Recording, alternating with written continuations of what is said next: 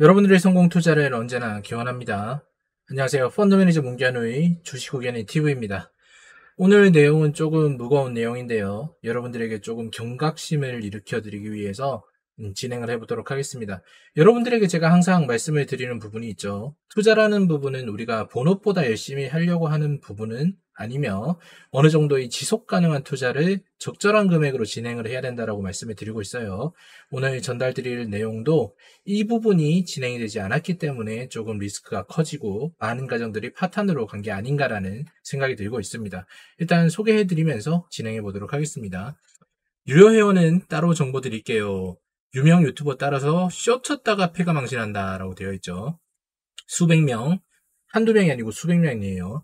고려하연서 수억 손실의 위기이다. 쇼츠 퀴즈로 상한가 기록하자 선물 하락에 베팅했다. 그러면서 손해가 커져가지고 나도 손실이다 자숙하겠다라고 유튜버님도 이야기를 했다라고 이야기를 하는 거죠. 이 고려아연이라는 종목에서 진행을 했다는 건데 최근에 고려아연이 여기 올라가는 것처럼 변동폭이 상당히 큰 종목으로 움직이고 있는 건 사실입니다. 그렇기 때문에 사실상 저 역시도 해지로 선물을 진행하고 있는 입장으로서 리스크가 상당히 위험하다. 고려하에는 그것 때문에 피하겠다라고 이야기를 진행을 하고 있고요.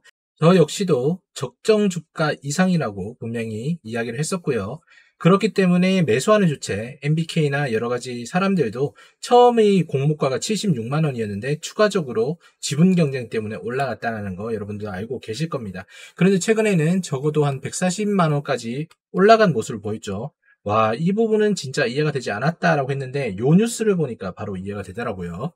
유명 유튜버의 조언에 따라서 최근 주가가 급등한 고려아연 숏 베팅에 나선 투자자들이 막대한 손실 위기에 처했다라고 되어 있죠.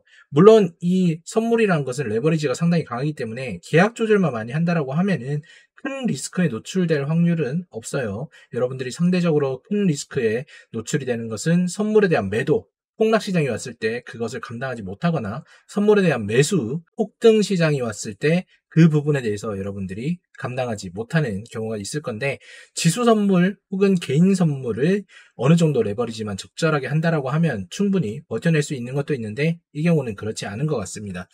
복수의 고려하연 선물 투자에 따르면 구독자 6만 명 이상을 보유한 A씨가 유료 회원을 대상으로 고려하연 선물학 투자를 조언을 했다. 유료 방송에서 진행을 했다는 얘기죠. 뒷부분에서 보도록 하고요. A씨는 고려하연 주가가 경영권 분쟁 탓에 급등하자 회원을 상대로 선물 하락 투자 강의를 했다고 합니다.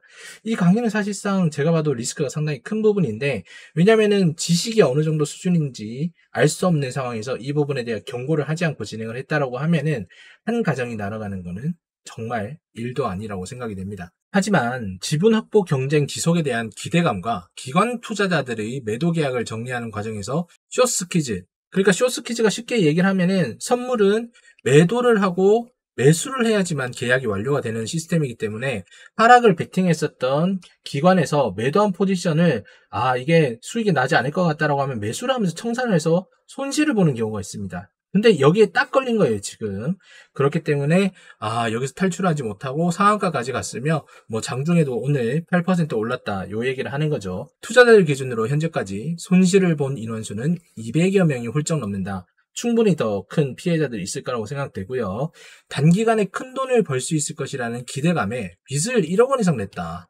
아, 이거 진짜 위험한 거거든요. 근데 이분들은 이제 아마 직장인이라면은 회복 불가능할 거라고 저는 자신있게 말을 드릴 수가 있어요. 손실 규모가 수십억 원에 달할 수 있을 거라는 게 이들의 주장이다. 충분히 가능하고요. 그럼 대략적으로 한번 보도록 하겠습니다. 이분은 이제 유튜버 데이짱님이라는 분으로서 여러분들이 이미 다 아실 거라고 생각이 돼요. 그분이 이제 라이브에서 죄송합니다라고 여기 띄워져 있죠. 요 방송을 말씀을 하시면서 요렇게 이날 차트를 보여주고 계신 거예요. 요날 차트를 한번 보시면은 최고가가 113만 8천 원이에요. 어, 그러면 여기 이미 상한가 갔던 날인 거죠. 그리고 여기 보시면은 수요일, 여기 되어 있죠. PM 9시 14분. 그러니까 수요일 밤에 요 구간대 지금 고려하인 가격대가 88만 9천 원일 때 이 라이브 방송을 하면서 아마 선물 강의를 하신 게 아닌가라고 추측을 하게 되는 겁니다. 그렇기 때문에 앞의 영상에서 죄송합니다. 저 역시도 손실이 크다라고 분명히 명확하게 이야기를 하셨을 때가 첫 번째 상한가를 갔었던 시점이기 때문인 거죠.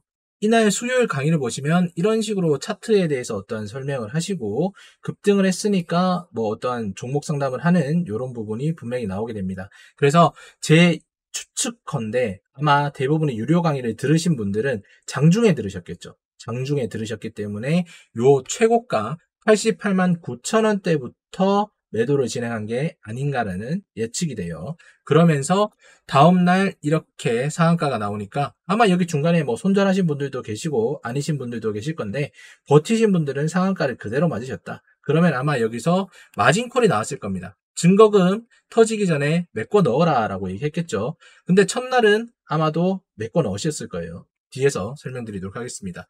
제가 아까 말씀드린 대로 여기 구간 최고점인 89만원대부터 매도를 진행했으니까 장마감 때쯤부터 이렇게 그 선물 차트거든요. 선물 차트에서는 매도가 나오기 시작했고 가격이 떨어졌더라. 그런데 다음날 보시면은 장 시작부터 쇼스 퀴즈가 나오기 시작하면서 여기에 상한가가 고정이 됐던 거예요.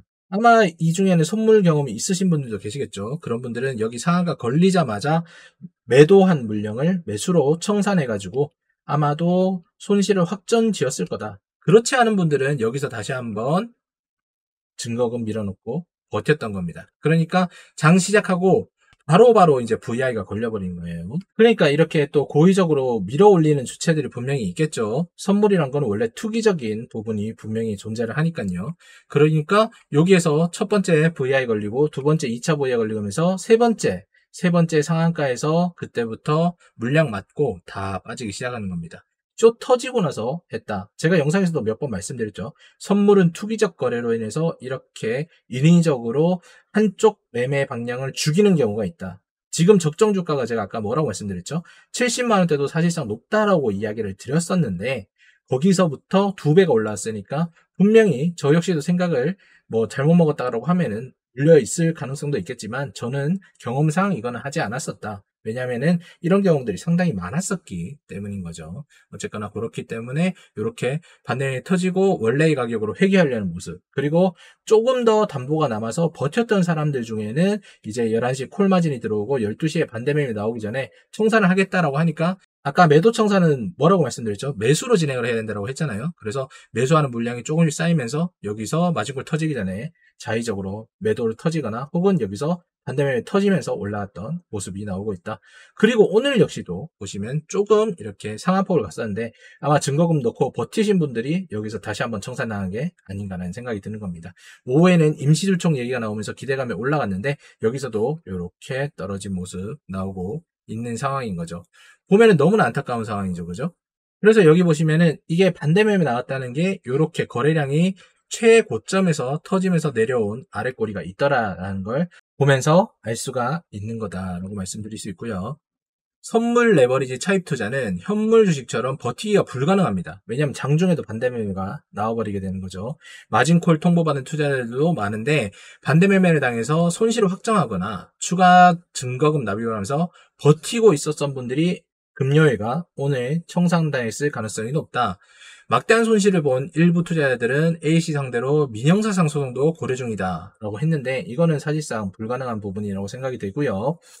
투자자는 주식 초보를 대상으로 변동성이 큰 선물 투자를 유도했다는 건 문제다라고 했는데 사실상 이 선물 투자라는 파생 상품을 개인이 투자하면은 이렇게 리스크에 크게 노출이 되기 때문에 국가에서 모의 수료와 그 다음 어떠한 그 이수 교육이 있어요. 이수 교육을 수료하도록 했습니다. 그렇기 때문에 사실 이 부분이 고려아연이 처음이 아니었다라고 하면은 많은 분들은 리스크에 대해서 인지를 하고 계셨을 거예요. 그렇기 때문에 주식 투보를 대상으로 변동성이 큰 선물 투자를 유도했다는 건 문제가 맞지만 법적인 부분에 대해서는 모두가 이미 알고 있었다, 인지하고 있었다는 부분 분명히 있기에 법적 처벌은 크지 않을 거라고 생각이 됩니다. 다만 이 양방향 소통 부분은 문제가 될 수 있겠죠. 선물 투자를 전혀 모르는 분들을 위해서 제가 예시를 한번 들어보자면 이 88만 9천 원에 고려 아연 주식이 실제로 거래가 되고 있다라고 하면은 선물은 한 계약을 하면 곱하기 10주를 사는 그 효과가 있습니다. 그렇기 때문에 레버리지가 10배가 있다라는 이야기를 일반적으로 하죠. 그러면 주식 초보가 한 계약을 매도를 했다라고 하면 여기 889만 원을 매도한 것과 똑같은 효과가 나는 거죠. 그런데 선물 옵션은 최소의 증거금이 천만 원이 필요해요. 한 계좌당. 그렇기 때문에 한 계좌에 천만 원을 밀어넣고 889만 원을 매도를 쳤으니까 여기서부터 이 천만 원이 마를 때까지 주식 가격이 올라가 버린다라고 하면은 이 계좌는 터지게 되는 거겠죠. 첫날에 889만 원에 매도를 했다고 가정을 했을 때 둘째 날에 108만 9천 원까지 선물이 상한가를 갔기 때문에 한 계약당 200만 원의 손실이 났을 거다라고 예측을 할 수 있고요. 만약 한 선물 계좌에 1000만 원을 넣었을 때 풀베팅을 했다고 가정을 했을 경우 최대 3계약까지 가능했습니다. 그러면은 이 선물로 인한 수익에 눈이 먼 사람들은 천만 원 이상 넣었을 수도 있겠지만 천만 원 기준으로 3계약을 넣었다는 가정이 될 수가 있겠고요. 그러면 하루 만에 600만 원의 손실이 났을 수 있겠죠. 그런데 만약에 아까 예시에서 봤던 것처럼 1억을 대출을 해가지고 풀계약을 넣은 사람은 30계약을 매도를 쳤을 거잖아요. 그러면 3계약에서 마이너스 600이면은 하루 만에 6천만 원의 손실이 나오게 됐을 겁니다. 분명 여기서 마진콜은 나오지 않았을 거예요. 왜냐면은 최저 유지 증거금이 넘지를 않았을 거기 때문에. 그런데 문제는 그 다음 날이 되는 거죠. 여기서 보시는 것처럼 요때는 계약당 200만 원이 손실이었지만 다음 날에는 한 계약당 추가로 326만 원이 손실이 났다. 그러면은 한 계약당 이틀 동안 526만 원의 손실이 났다는 얘기인데 가장 큰 문제는 이 부분이 되는 겁니다. 여기 있는 이 부분 처음에 있는 이 10분 동안 거래가 되지 않았고 거래에서 이탈한 계약은 500 정도밖에 되지 않는다. 500 계약 정도밖에 되지 않는다. 근데 아까 수천 명이 매도를 했다라고 얘기하잖아요. 여기서 500 계약을 제외한 나머지들은 여기서 반대 매매가 터졌을 거고 이 반대 매매가 터지면서 어, 증거금 부족한 것들 특히나 뭐 예를 들어서 라드견 사태 때 많이 보셨을 거예요. 내가 넣은 건 50억이었는데 팔지를 못해서 손실이 뭐 100억대가 넘었다. 그래서 빚이 한 50억 남았다. 이런 것들 이거 충분히 가능한 겁니다. 여기서 분명히 그러니까 풀베팅을 만약에 하신 분이라면은 계약당 526만 원이었죠. 곱하기 30 하게 되면 1억 빌려서 넣었는데 5천만 원의 빚이 추가로 생기게 되는 일이 생기는 거죠. 예시를 들어서 말씀을 드린 거니까 망한 경우에는 오히려 빚이 추가로 남은 거고 여기서 잘 탈출했다라고 하더라도 가정 경제에 어마어마하게 타격을 줬다라는 거 아실 수가 있는 거죠. 여러분들 제가 항상 말씀드리지만 주식을 매수를 하든 선물을 매도를 하든 매수를 하든 이걸로 망하는 사람들은 그 종목만 바뀔 뿐이지 똑같은 점이 있습니다. 어떤 거냐? 나의 욕심을 컨트롤하지 못한다. 내가 할 수 있는 범위 이상을 하기 때문에 아무것도 되지 않는다. 잘 하다가 그렇게 되는 거죠. 지금 이 A씨 경우에도 정말 안타깝죠. 이분 뭐 책도 많이 쓰셨고 여러 가지 일들이 있는데 이분이 잘못한 거는 제가 봤을 때는 없는 것 같습니다. 물론 어떠한 잘못된 지적 부분을 꼽자고 하면은 선물 강의를 했다는 것. 누구를 대상으로? 일반인들 대상으로. 지식이 없는 사람을 대상으로 선물 강의를 해서 어떠한 위험 고지 부분이 조금 부족했다는 부분 있고요. 추가적으로 제가 개인적으로 생각했을 때 지금 이 결과가 일어난 이유는 본인도 투자를 했다는 겁니다. 그죠? 본인도 투자했기 때문에 본인 역시도 손실이 엄청 크다라고 얘기했었잖아요. 아마도 법적인 부분이 문제가 된다라고 하면 이런 부분이 문제가 될 거라고 생각합니다. 선물 역시도 어떻게 보면은 선취매매 이런 부분에 대해서 제약을 받을 수 있겠죠. 왜냐? 수백 명이 일단 고려아연이라는 종목에 대해서 선물 매매를 했기 때문입니다. 몇십 명이 한다는 거는 크게 문제가 되지 않아요. 선물이라는 건 레버리지도 크고 고려아이언 자체가 시총이 엄청나게 크기 때문에 프로그램 매매나 여러 가지 부분에서 막히는 부분은 있을 것이지만 분명히 수백 명이 한 계약씩만 거래를 한다라고 하면은 이 평소에 거래량이 없는 고려아이언 같은 경우에는 분명히 어떠한 시세 조작이나 변동성이 생긴다. 어떻게 보면 그걸 알고 매수를 진행했던 주체 측에서 반대쪽 포지션을 청산시켜버린 것일 수도 있다라고 말씀을 드릴 수 있는 겁니다. 아니 그런 게 어디 있어 라고 말씀하시는 분들 많은 건데 비일비재합니다. 제가 최근에 올려드린 이 영상 중국 지수 마이너스 11% 폭락에서도 글로벌 사모투자적은 뭐 헤지펀드들이 조작을 해서 터트리는 경우도 있고요. 요 아래 링크 보시면 될 거예요. 여기 보시면은 제가 말씀드렸죠. 이 영상에서 이렇게 여러분들이 다 자고 있는 새벽 4시 50분에 거래량을 터트리면서 쇼스 퀴즈 내고 그 다음 실제로 이제 중국 증시가 일어나는 시기에 이렇게 깊은 하락폭을 나타냈다. 지수가 마이너스 11%가 빠졌습니다. 중국 지수가. 그러면 그동안에 올렸던 이 모든 것들은 투기 자금이라고 봐도 되는 거겠죠. 그런 것들 많습니다. 그죠? 석유 투기, 금 투기 여러분들 많이 들어보셨을 거예요. 자세한 건 아래 영상 링크를 한번 읽어보시기 바랍니다. 어쨌거나 오늘의 정말 안타까운 부분과 여러분들에게 전달을 드리고 싶은 부분은요. 절대로 차트 매매 하지 말라라고 다시 한번 말씀을 드리고 싶고요.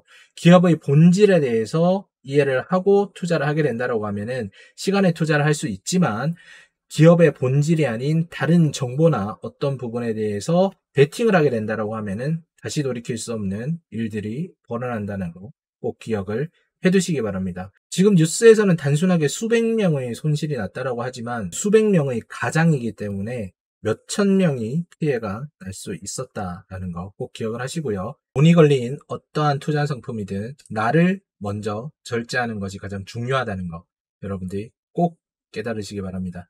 내용이 좋으셨다면 구독, 좋아요 한번 눌러주시고 저 역시도 사업을 진행하고 있는 입장에서 다수의 손실 보신 분들이 계셨다는 것에 유감을 표하고 싶습니다. 저는 다음 영상으로 찾아뵙도록 할게요. 시청해주셔서 감사드립니다.